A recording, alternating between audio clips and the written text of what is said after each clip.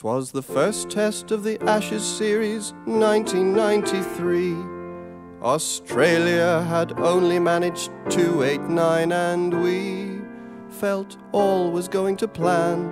That first innings at Old Trafford. Then Merv Hughes and his handlebar moustache dismissed poor Athers. I took the crease to great applause and focused on my dinner. I knew that I had little cause to fear their young leg spinner. He loosened up his shoulders, and with no run up at all, he rolled his right arm over and he let go of the ball. It was jiggery pokery, trickery jokery. How did he open me up?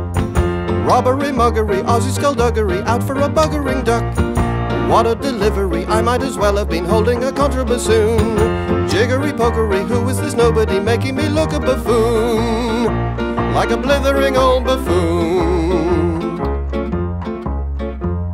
At first the ball looked straight enough, I had it in my sights.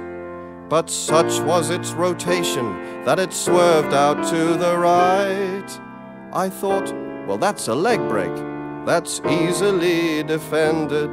So I stuck my left leg out and jammed my bat against it. But the ball it span obscenely, and out of the rough it jumped. Veered back across my baton pad, clipping my off stump. It took a while to hit me, I momentarily lingered. But then I saw old Dickie Bird slowly raise his finger. It was jiggery pokery, trickery jokery. How did he open me up?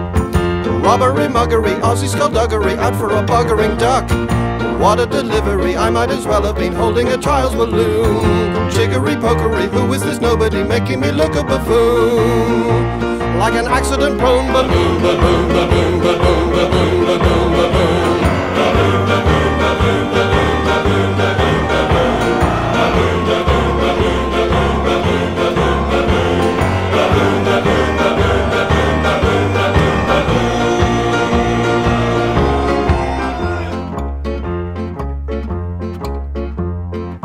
How such a ball could be bowled, I don't know, but if you ask me, if it had been a cheese roll, it would never have got past me. It was jiggery, pokery, trickery, jokery, how did he open me up? Robbery, muggery, Aussie skullduggery, what in the buggery? Was his delivery? I might as well have been holding a cob of corn.